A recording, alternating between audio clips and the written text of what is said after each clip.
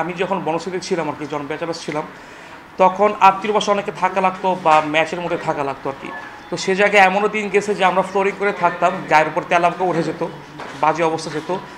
দেন এমনও দিন গেছে যে আমাদের না খেয়ে থাকা লাগতো কজ বুয়া আসতো না। আমাদের এটা লং টাইমটা সাফার করা লাগতো আর কি। তো ওইখান থেকে এইখানে আমাদের সুপার হোস্টেল আমাদেরকে একটা লবি দিচ্ছে দেন পার্সোনাল লকার দিচ্ছে।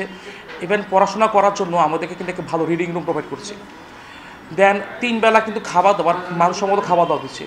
তো এর থেকে বড় আর ফ্যাসিলিটিস কী হতে পারে? আমার, আমার- আমার পক্ষ থেকে আর কি। দেন আমি যখন ওইখানে ছিলাম, আমার সিজিপের যে ব্যাপারটা ছিল যে পড়াশোনা করতে পারতাম না প্রাইভেট ইউনিভার্সিটিতে পড়াশোনা এমনি কিন্তু অনেক টাফ তো ওইখানকার সার্কমস্টেন্ট এবং এনভায়রনমেন্টের জন্য কিন্তু পড়াশোনা করতে পারলাম না। সিজিপি আমার ছিল টু পয়েন্ট এইট নাইন থেকে এইট নাইন ছিল। বা আল্লাহর আমাদের মাস্টার্স আমার থ্রি পয়েন্ট এইট সেভেন হয়ে গেছে বিকজ এখানে সুযোগ সুবিধা থাকা, খাওয়া এবং হচ্ছে কি সব ধরনের ফ্যাসিলিটিসের কারণে আর কি। তো আমি আমার মানে ব্যক্তিগত জীবনযাপন খুব সুন্দর মতো, আল্লাহর মতো জীবনযাপন করতে পারছি